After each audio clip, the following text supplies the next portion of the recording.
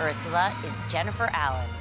What is the reaction when you first step on stage? A glorious costume that I love putting on. It is frightening and beautiful, and the tentacles are huge. My hair is nine feet tall, and I just feel like a rock star. The kids love it because there's mermaids, and the eels are that scary sidekick, you know, to Ursula, and, and oddly, the, the audiences love Ursula. And I had to see for myself what it's like to transform into the character that everyone loves to hate basically Ursula's skin is blue. You're gonna have a lot of blue everywhere. And then there's certain um, characteristics uh, that will make you appear more evil.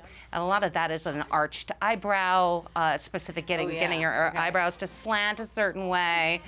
Dark, little dark, mean, reddish purple lips. Very dramatic, scary, but beautiful and your Ursula transformation is complete.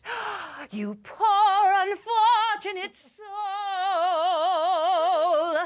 Oh my God, I love it. Check out Broadway Across America for all the production dates, information, and more.